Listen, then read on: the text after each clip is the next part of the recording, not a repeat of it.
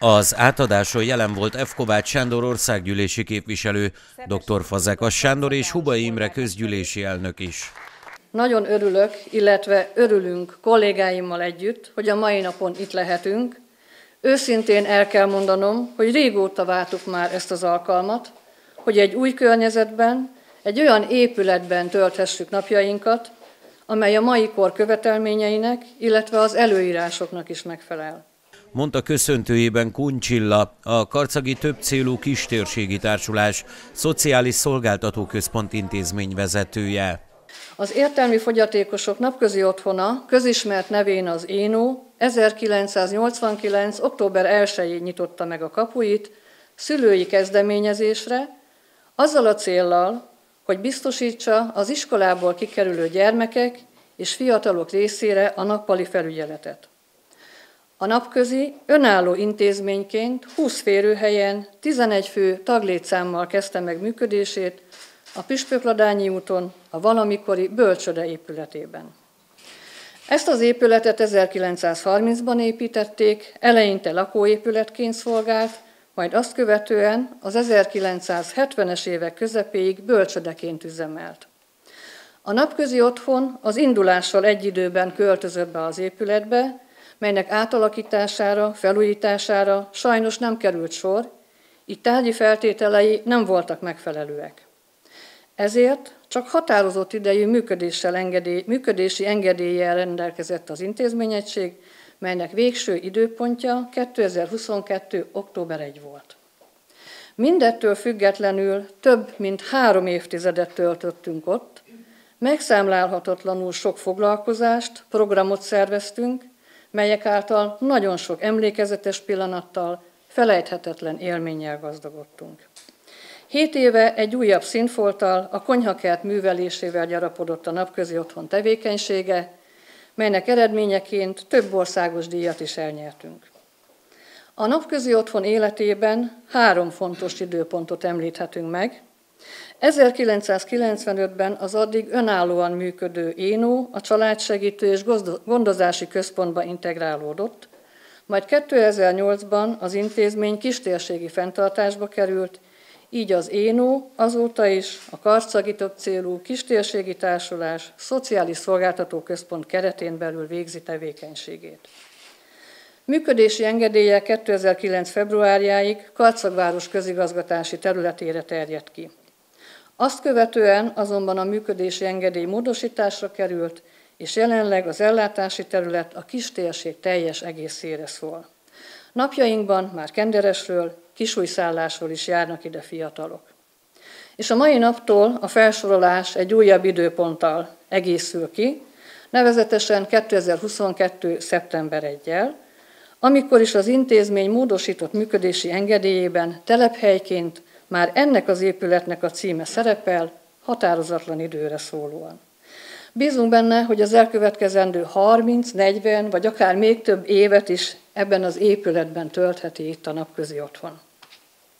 Itt szeretnénk köszönetet mondani, illetve szeretnék én is személy szerint köszönetet mondani Karcagváros önkormányzatának, polgármester úrnak, a képviselőtestület tagjainak, hogy lehetővé tették számunkra az új telephely birtokba vételét. Köszönöm Molnár Pál igazgató úrnak és a Városgondnokság dolgozóinak folyamatos segítségét, Antal János úrnak felajánlását és munkáját az udvar rendbetételére vonatkozóan, amely még folytatódik természetesen, és mely által tovább tudjuk majd folytatni konyhakerti tevékenységünket is. Köszönjük a Dola Generál Kft-nek, Dobrai Imrének a kivitelezési munkálatokat. Köszönöm a kollégáim segítségét, és természetesen a szülők, törvényes képviselők megértését, támogatását. Végezetül, de nem utolsó sorban, nagyon köszönöm Jásznagykun Szolnok megyei kormányhivatal hatósági főosztály, szociális és gyámügyi osztálya vezetőjének, dr. Hajdú László Lajos úrnak és kollégáinak segítő támogatását, türelmét, melyet az elmúlt években nyújtottak felénk. Még egyszer nagyon szépen köszönjük mindenkinek a segítségét, támogatását. Sorolta az intézményvezető, majd megköszönte mindenkinek a támogatását, amely lehetővé tette a korszerű napközi otthon kialakítását.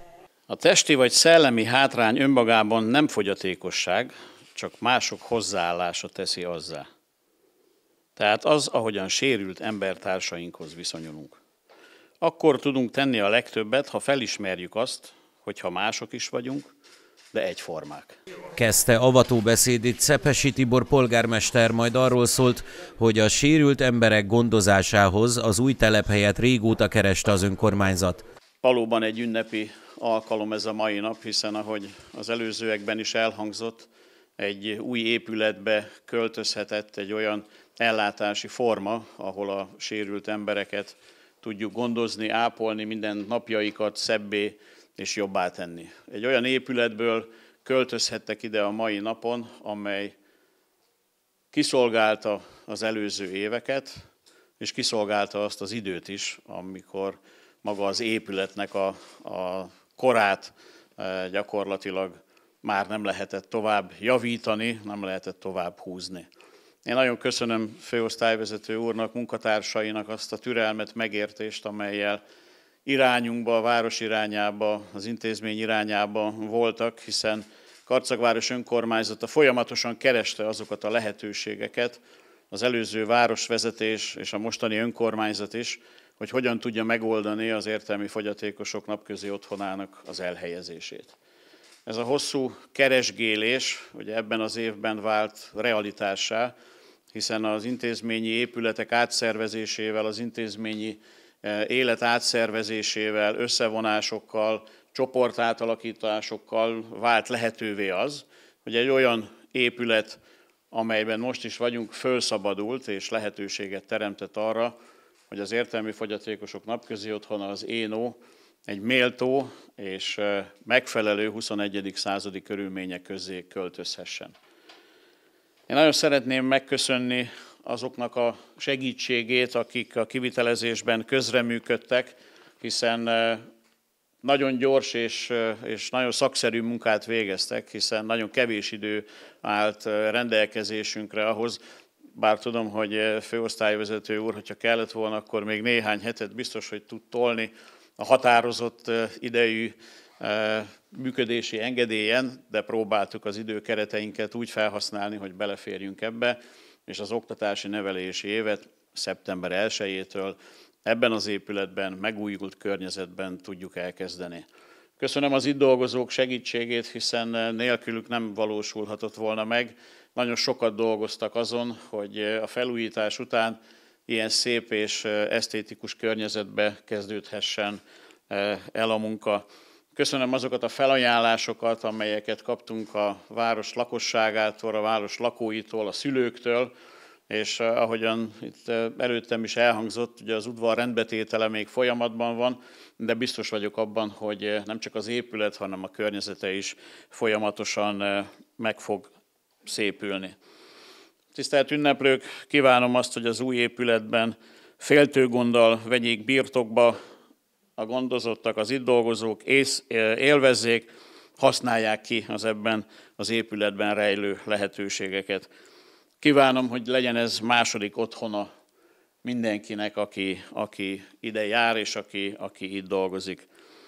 És hát nem utolsó sorban kívánom az intézmény valamennyi dolgozójának, vezetésének, erőt, jó egészséget és munkájukba vetett hitüknek megtartását, sok türelmet, kitartást és jó egészséget kívánok mindenkinek.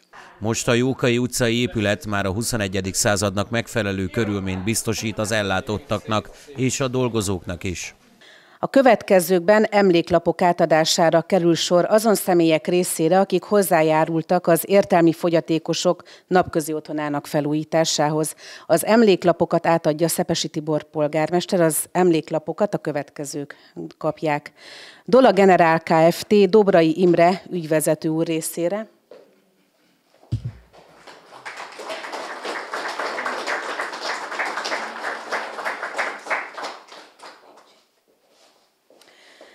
Valamint a Karcagi Többcélú Kistérségi Társulás Szociális Szolgáltató Központjának dolgozói, akik számos területen könnyítették és segítették a költözés fázisait.